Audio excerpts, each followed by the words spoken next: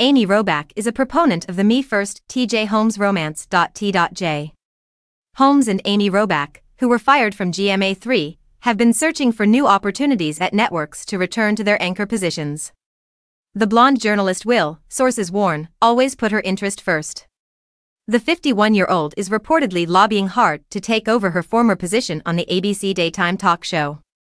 Amy will always prioritize her own interests, the mother of two chirps, but she is also arguing for herself and her partner, her partner, to be hired together as a package offer because they enjoy working together. They're spreading the word, making the necessary connections, and getting ready to strike when the right moment comes.